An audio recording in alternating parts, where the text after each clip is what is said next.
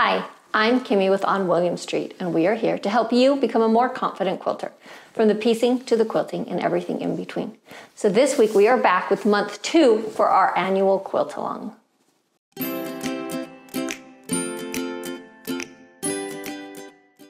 So this month we are working on our 2023 quilt along where we're doing a quilt as you go. So we've already made all the blocks. We made those back in January.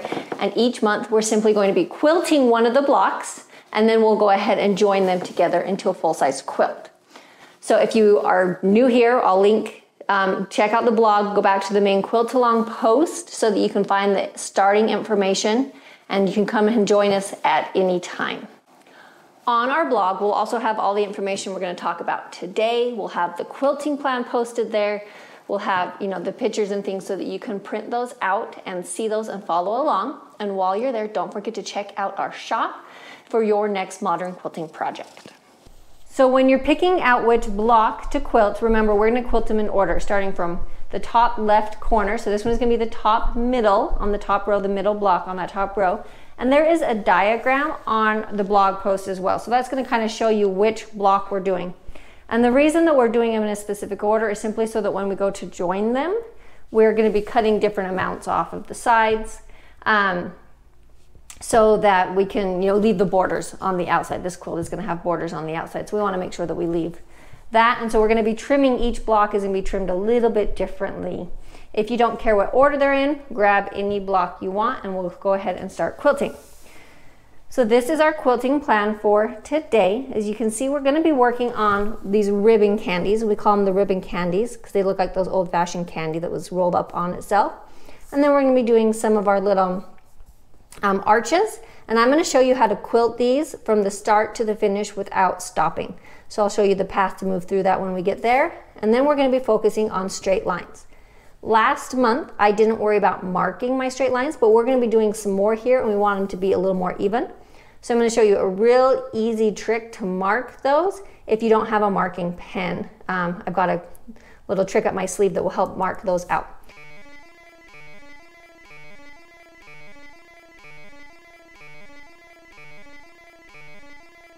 But first we're gonna start right there in the center and we're gonna do our ribbon candies in the center. So I'm gonna start here in the corner and we're gonna do the same thing, start in the middle and work our way out like we did last month.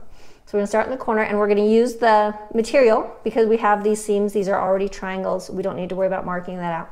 And we're just gonna go out and in and out and in, gradually getting bigger and to then smaller back to the other side. So you can see here on this one, if you can this is gonna be the ideal way to kind of make it fit is if you can make it so that you're making one big loop down here in this point, it's gonna fill the space and it's going to fit, um, fit the best. As you can see, some of them as I was doodling this out, they don't really quite fit that so well and I ended up with a squampy arch here um, to make that fit and to fill that bottom corner. So that's kind of be, wants to be your goal as we're quilting this aim so that you have a nice even loop here in that bottom part of the triangle. So now that those are done, we're gonna go ahead and move out to the sides. And I'm gonna go ahead and start, I wanna start on one of the points. It doesn't really matter which one. So wherever you finished, we're gonna start right there on that point. And we're gonna mark these out. So the way I've got these lined out is I've got the one along the seam, or along the, from the point to the point. And then this one here, I went ahead and I aimed for the middle of that block and then just went straight out from that middle. Then we're gonna put one in the middle there and then put one more little triangle there. So what I'm gonna do to mark that, because I wanna make sure that it's gonna fit where I want it to, so I'm gonna use a kitchen butter knife and then my ruler.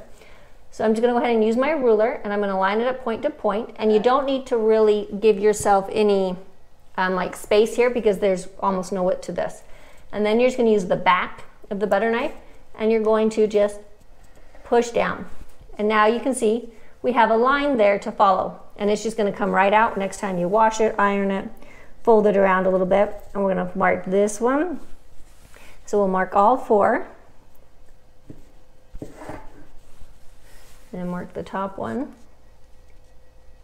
This kind of basically works. You can see those, the people have the bone tools as well. It's basically the same thing. Then I'm gonna mark from the middle of that point first. So I'm just gonna kind of you can, you know, kind of mark where that is so we can see. And I'm just going for a straight line out of there. And then I can easily come in and just eyeball a line in the middle of those. And then we're gonna come this way. Same thing, just straight out. Come in and eyeball a line right in the middle of those. And then we're gonna do one more. And I'm basically just eyeballing um, in between these two, this center point and the line. And I'm gonna come out here, turn it, come here, and then that gives me all of my lines to go ahead and follow as we're quilting. So I'm so I'm just gonna go ahead and mark out the rest of these and then it'll be really easy to sew those straight lines. Now that we've got these marked, when I quilt them, we're gonna go in a little bit different than what you might think we're gonna do. So I'm gonna start here at the point, go out, work down the side, just the stitch in the ditch, come down this one. Then I'm actually gonna go all the way over and skip this middle one and go over to this one. Come out, then go over, down, up, over, down, up. Then we go down here.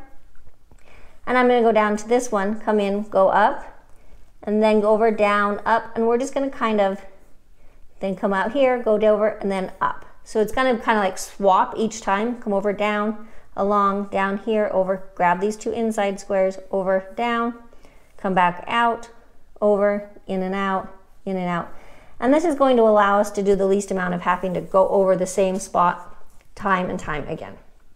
Now we're ready to go ahead and quilt these outer triangles. And since how we've stopped here, we're just gonna follow down along the um, seam. And then we're here in this corner to do this one. So we're gonna go in and out, in and out, and fill this in just like we did last time.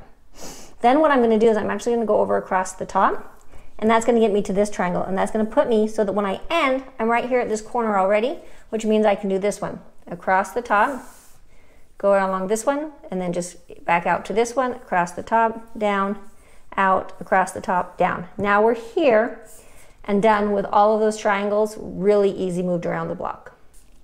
And the final thing we have to do is our corners. So because we didn't do a lot of pebbles, this block should go, probably go a little bit quicker for you. So what we're gonna do to make sure that we don't have to um, stop or move around at all, we're gonna come out to the edge here, right here, and we're going to go in, and then we're gonna go up, and then down. Now we're gonna go around the outside, and then we're gonna go up, down, around the outside, around the top, and then we're gonna hop up and grab this whole triangle. One, two, three. Now the only thing we have left is this side right here. And that one is done. Then what I'm actually gonna do is come along the side, along the edge, down, across the back of this, and out. Then we just come in with the rest of our squares. And I'm gonna go ahead and mark these the same way as we did with the, with the uh, knife. So you can see this is a seam here. So you're just gonna mark halfway between and then halfway between. So use those seams to get those halfway between lines in there and, and um, follow along and just extend. So like this seam will, seam will just be extended, then that one's gonna be there halfway in between them and it makes it really easy to mark those without having to measure everything. Then when we get to here, we're gonna follow along the outside edge again and then right back down to our next spot where we can go bump in, then up the side, down the side, along the back, up, down, along the side, along the top, jump out, oh, and grab this guy. One, two, three. Now we have one left, and then we can go down here, oh, sorry, out the side, back down, and then grab our squares along the edge, and then finish out with the last two blocks. I'm hoping this will be you know easy to see without my finger in the way, a little bit easier as we quilt it. So I'll make sure to walk you through that again as we quilt it out. So before we start quilting, if you've forgotten how to set the machine up or if you've forgotten how to sandwich the three things, um, go back and check month one video. I'm actually gonna have a link below and that's gonna link you to the exact spot in that month one video just to go over setting up the, the quilt block and getting ready to quilt. And then before we start, I am going to reach down and grab my bobbin thread so they're both on the top. And what this does is it makes sure that you're not gonna get bird's nest or tangles on the back and it has all your threads right there easy to tie together and bury later. So we're gonna start with the ribbon candies. And what I'm going to encourage you to do is to not turn your block at all, is to practice doing it from all directions. So I'm gonna start doing it this direction, and then I'm just gonna go ahead and switch and go back this direction. Where it's not straight lines, it's a little bit easier um, to get that to still fit without having to turn. And it's great practice to not turn your quilt block so that when you are ready to go on to bigger um, quilts, you can kind of get that uh, feeling where you can't turn it as easily. So we're going to turn on the quilt.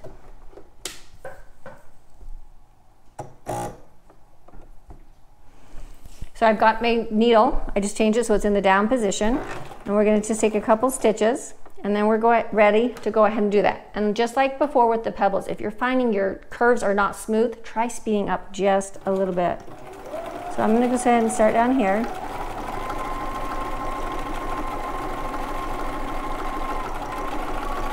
And I'm gonna try to do this in as few um, finger moves as possible because curves, it's hard to keep them smooth after you've stopped. But if you do need to stop, I like to stop near an edge. It kind of hides bumps if you do have one.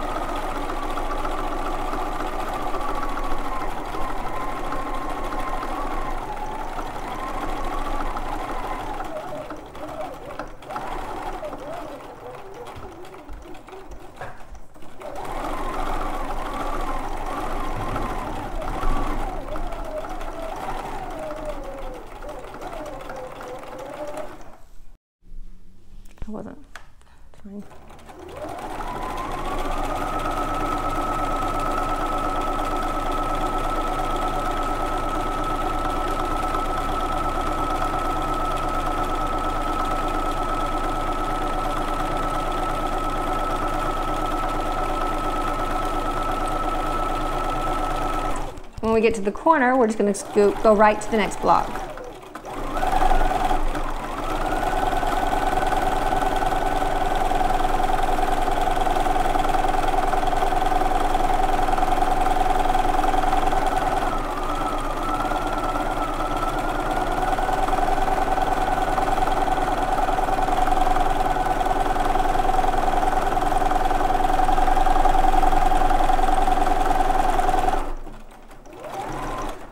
Now we're ready to start on the straight lines. We're to the corner, so we're just gonna go, sorry, we're just gonna go out, then follow down along and come back down this one. Then we're gonna skip this one, come down here, and then go in and grab these two inside ones, and then come back down here and finish off the other side.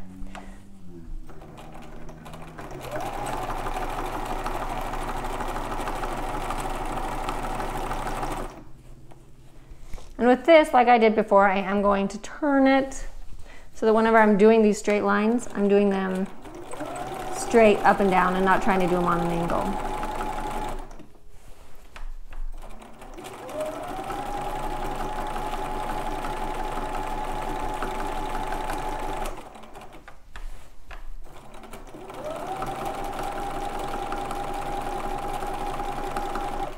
Now here, because it's sideways, I'm just gonna go ahead and just go straight sideways.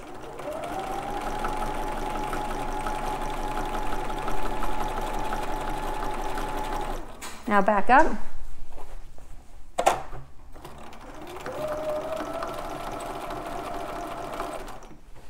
And we'll grab the two inside triangles.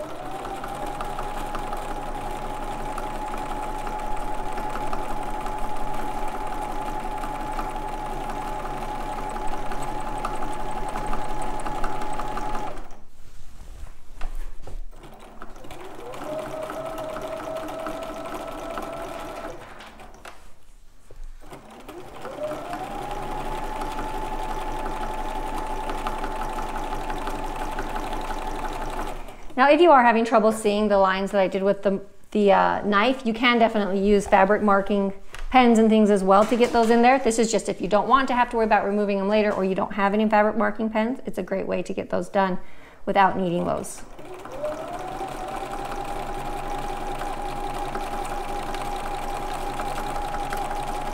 All right, now we are to the next little section. So we're just gonna move in and this one's gonna be done in a little bit different order than the last one because we're gonna end down here. So we're gonna come in, come out and grab this, then go do our inside triangles, and then go grab our other two sides.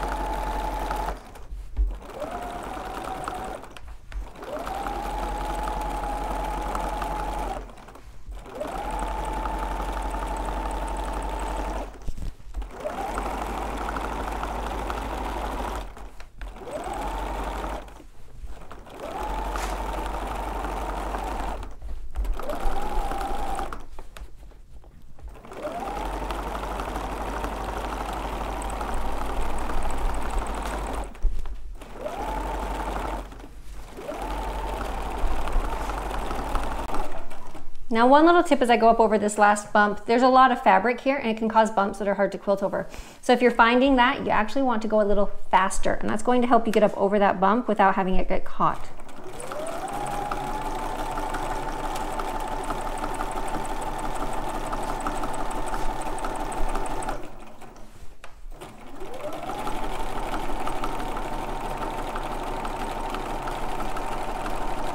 And to get back out of here, I'm just gonna go ahead and just trace back over this line I made at the first, at the beginning.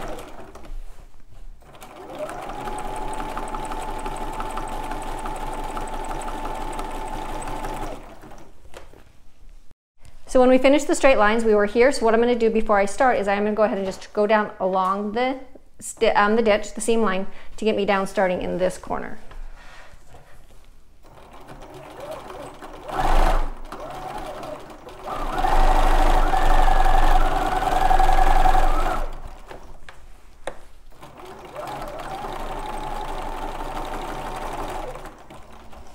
So now that I'm here, now you can just go ahead and like I said, you can leave it in one position. You don't really need to be turning it around for these. Practice doing these ribbon candies in all sorts of different directions.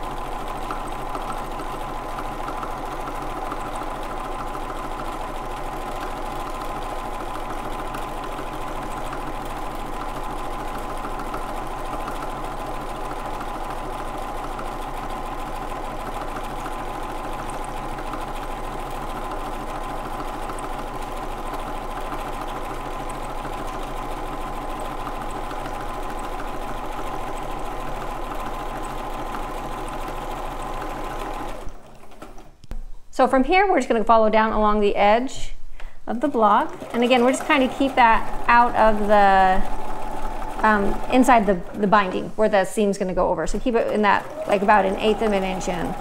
Don't go in farther than that, and you don't have to worry about seeing it. And now we can come down to our next triangle, and we're gonna stitch this one, and then straight out this one without stopping.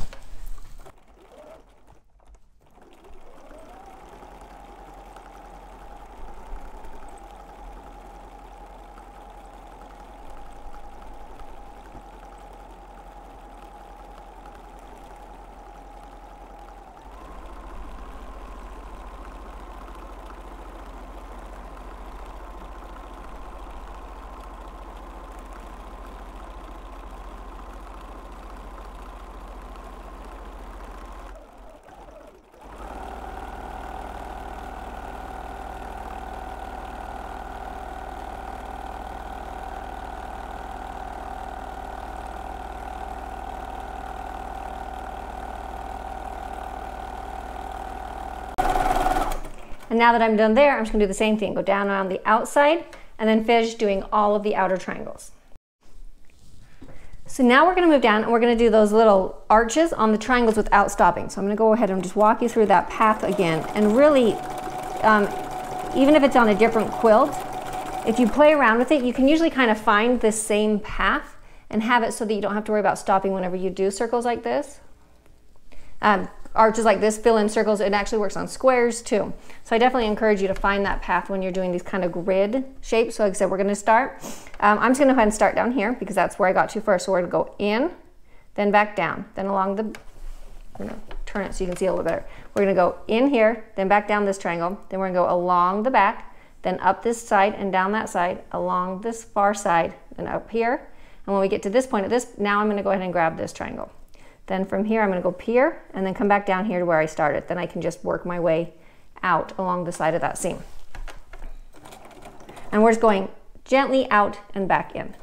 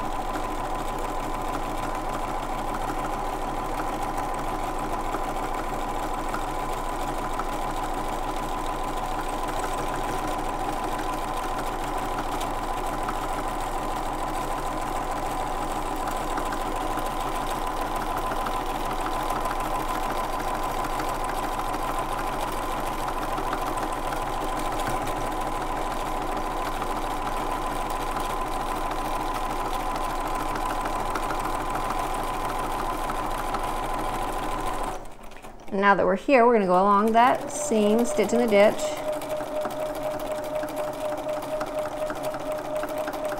And we're gonna go all the way out to the side. Then we're just gonna move along the edge of the block. And now I'm lined up and ready to do these seams. So I'm gonna go down here first along the farthest one. Now from here, I'm gonna stitch in the ditch along that triangle.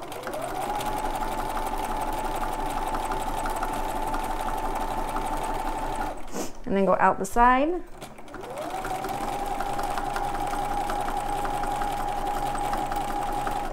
And then the rest of them are gonna be easy. Come in, just go in and out, in and out, in and out, and then we're done with this corner.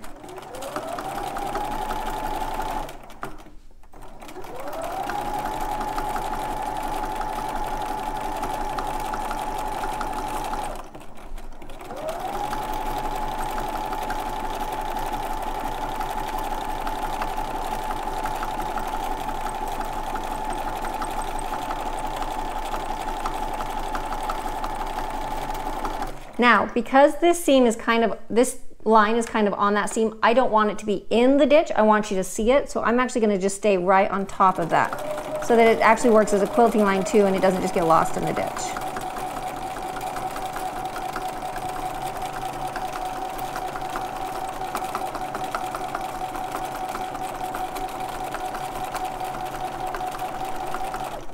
Now I'm done with that corner. I'm gonna just follow my way down along the side and fill in the other one. Don't forget, if you need to see that pathway again, go ahead and rewind and watch this block, this corner over, and so you can really make sure you understand that pathway before you get quilting that. And I would also try, you know, use your fingers to trace over it a few times so that you're comfortable before you quilt that out. And now we are done with block two, focusing on learning those ribbon candies and practicing those ribbon candies. And I just want to encourage you as we go throughout this year, don't be too hard on yourself. Remember, nobody else is looking at your stitches as closely as you are. You're the only one that's inspecting each and every one. So be patient and give yourself opportunities to practice and to, to learn and to grow. So um, have fun. You know, if we're not having fun, then why are we doing these hobbies if they're just stressing us out? So just try to breathe and have fun and enjoy the process. Also, if you really liked the kind of grid quilting that we did in these outer triangles where you kind of go back and forth, we do have a few other motifs on the website. So if you go to our tutorials and go down the free motion quilting, you'll see some other grid type designs. They're a lot of fun to quilt out and give a lot of fun texture to quilt. So if you enjoyed that and want to explore more of that, we do have some more there as well. As always, if you have any questions, don't hesitate to reach out. We are happy to answer any questions that you have as we go along and then you'll have all month to finish this block up and we'll come back and do another one next month. And then after we finish that one, we're ready to go ahead and join the top row together. So with that, don't forget to follow us on Facebook and Instagram. Somebody also mentioned they would like to see the backs, so I'm gonna post pictures so you can see it better, and I will be posting pictures of the backs on our Instagram and Facebook feeds as well, so you can find those there and see other things that we're working on. We're working on our first pattern of the year, and it's gonna be super cute. So don't forget to, you know, keep an eye on that and we'll see you next time.